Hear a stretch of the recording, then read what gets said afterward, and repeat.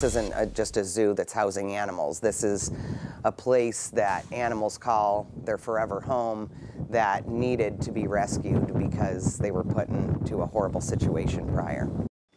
Nestled in the Ozark Mountains, just outside of Eureka Springs, is Turpentine Creek. For more than 30 years, they rescued big cats nationwide, and they recently just welcomed more than 30 cats featured in the Netflix show Tiger King. 5 News reporter Jose Carranza spoke to the sanctuary about what led up to this and how their new Freedom, uh, Freedom Field will help them on their mission.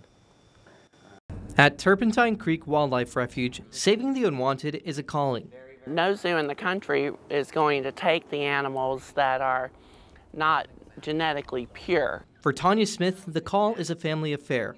Her parents started the refuge, giving their all to save big cats. They were in a situation that they felt like they could help, and that's what they've always done with animals. So um, it was just natural that they sell everything they own. Staying true to their mission, many were inspired and joined their program. We've had over 400 biologists, zoologists, animal care science people go through our program since 1997. Some have stayed, like animal curator Emily McCormack. This isn't a, just a zoo that's housing animals. This is a place that animals call their forever home that needed to be rescued because they were put into a horrible situation prior. While the pandemic shut many places down, even the sanctuary, Tigers took center stage with the Netflix hit Tiger King. It shed a light on the exotic big cat trade. I've been on over 500 rescues uh, or brought in over 500 animals in that 32 years. And every time I go, it's, it's a sad situation. There's an estimated 5 to 10,000 big cats in the U.S., many genetically modified, making it impossible to thrive or survive in the wild. People don't understand what these animals need in the wild, let alone, you know, in a captive situation. Some of those big cats were used for entertainment. That's until Congress took note.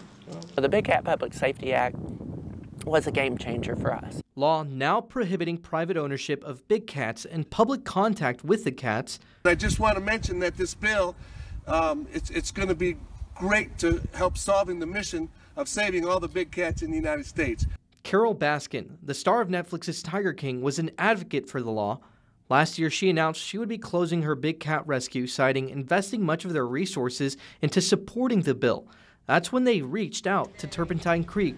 Probably one of the biggest, fastest expansions that we've ever accomplished in the in the last 31 years. 33 animals made the trip from the Florida Rescue to Northwest Arkansas. The cats now live in the newly built Freedom Field.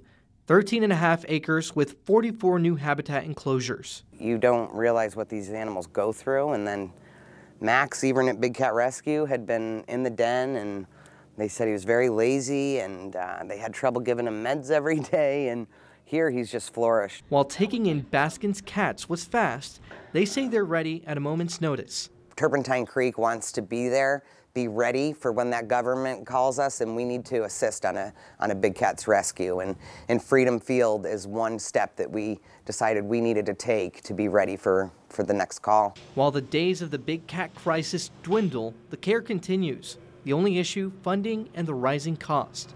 I remember days where if we could just earn five, five people come in at $5 a day, it could cover the food expense for the animals that day. That's when in the very beginning.